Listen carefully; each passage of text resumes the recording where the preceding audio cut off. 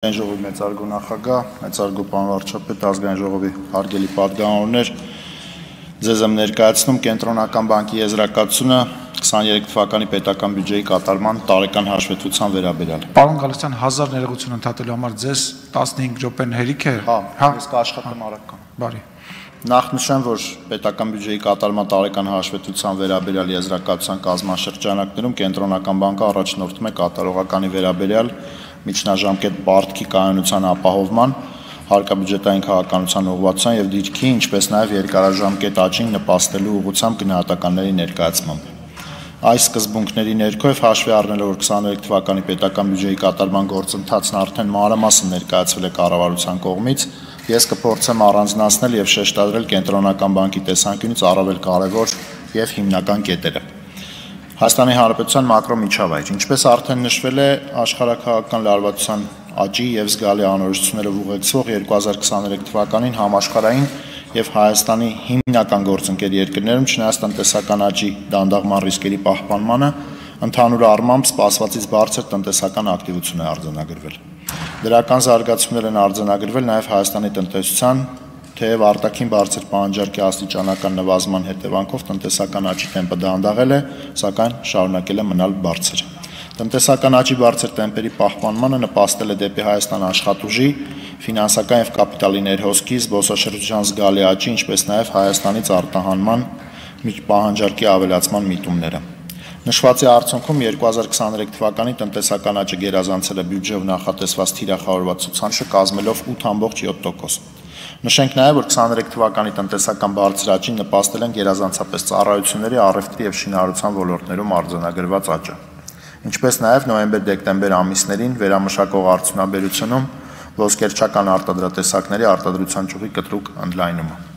Հատկանշական է, որ նման զարգացումների արդյունքում տնտեսական բարձր աճն ուղեկցվել է տնտեսության կառուցվածքային որոշակի փոփոխություններով, որոնք ընդհանուր առմամբ ձևավորվել են տնտեսության առանձին ճյուղերում կարճաժամկետ գործոնների ազդեցության ներքո անորոշություններ առաջացնելով համեմատաբար ներառական, կայուն եւ երկարաժամկետ բարձր տնտեսական աճի ապահովման համար։ Ինչ վերաբերում է գնաճին, ապա 23 թվականին Հայաստանում գնաճային միջավայրն իրականորեն մեղմվել է, որի հիմնականում նպաստել են կենտրոնական բանկի իրականացված դրամարկային քաղաքականությունը, արտաքին հատվածից փոխանցվող գնանկումային ազդեցությունները եւ դրամի արժևորումը։ Արդյունքում ապրիլից սկսած 12 ամսյա գնաճը պահպանվել է թիրախից զգալիորեն ցածր մակարդակում, ընդ որում արտաքին հատվածից գնանկումային ազդեցությունների փոխանցման հետևանքով գնաճի շարունակական նվազման եւ ներքին տնտեսությունում աշխատաշուկայից ածանցվող գնաճային ճնշումների որոշակի չեզոքացման պարագայում հունիսից մինչև տարեվերջ կենտրոնական բանկը աստիճանաբար թույլատրել է դրամավարկային պայմանները, իջեցնելով քաղաքական տոկոսադրույքը ընդհանուր առմամբ 1.5%-ային կետով տարեվերջին այն կազմել է 9.25%։ Արդյունքում 12 ամսյա գնաճը 23 թվականին կազմել է -1.7, որը ուղեկցվել է 12 ամսյա բնականon գնաճի համանման վարկագծով, տարեվերջին կազմելով -0.4%։ Հարկաբյուջետային քաղաքականություն։ Առաջնորդվելով կառավարության միջնաժամկետ ծրագրով նախատեսված նախանշված տնտեսության ներուժի ավելացման, տնտեսական աճի նպատակադրված մակարդակի եւ պարտքի կանոնության ապահովման սկզբունքներով Հարկաբյուջետային քաղաքականությունը 23 թվականին շարունակել է սահուն կոնսոլիդացիայի ապահովումը եւ պարտքի աստիճանական նվազման ուղղված քաղաքականության իրականացումը։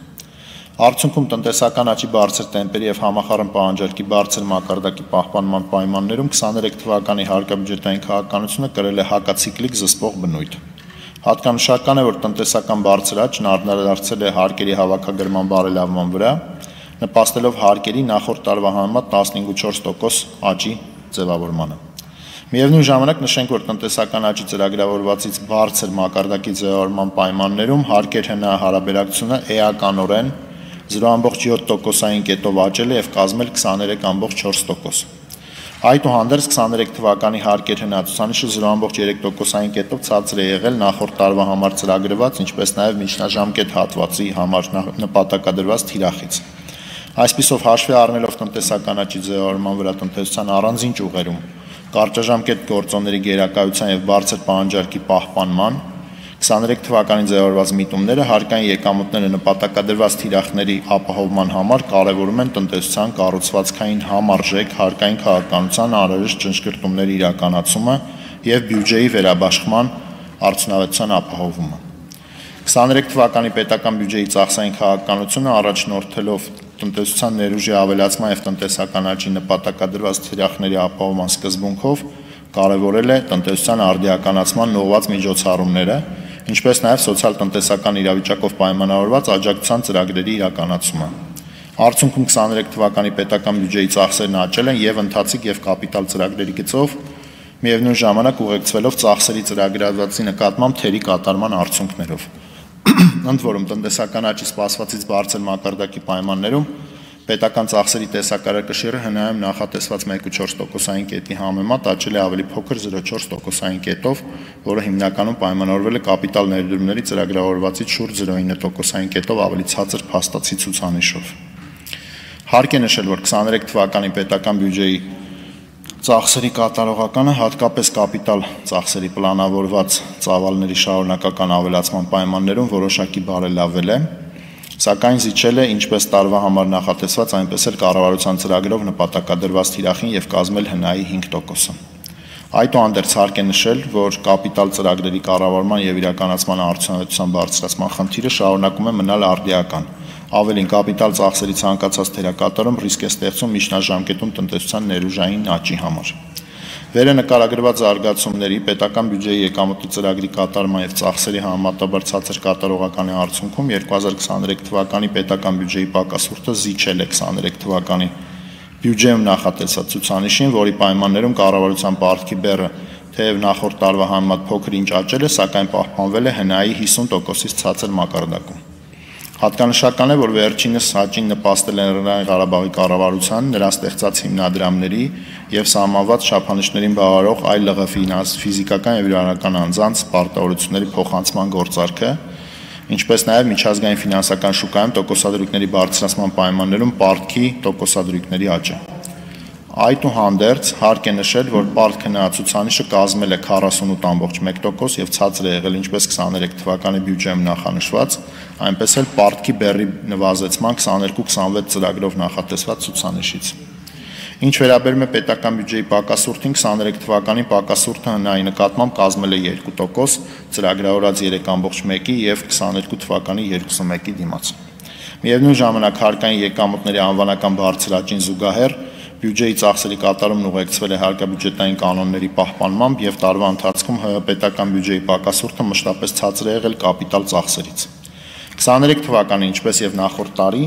պակասուրդն ամբողջությամբ ֆինանսավորել է ներքին աղբյուրների հաշվին, իսկ արտաքին աղբյուրներից զուտ ֆինանսավորումը եղել է բացասական։ Արդյունքում 23 թվականին պահպանվող բարձր պահանջարկով սնուցվող տնտեսական աճի պայմաններում հարկաբյուջետային քաղաքականությունը հիմնականում կրել է հակացիկլիկ բնույթ եւ տարվա համար նախանշված չեզոքի համեմատ ունեցել է զսպող դիրք։ Այդուհանդերձ հարկ է նշել, որ տնտեսական աճի կառուցվածքային առանձնահատկություններից բխող հարկաբյուջետային վերաբաշխման խնդիրները,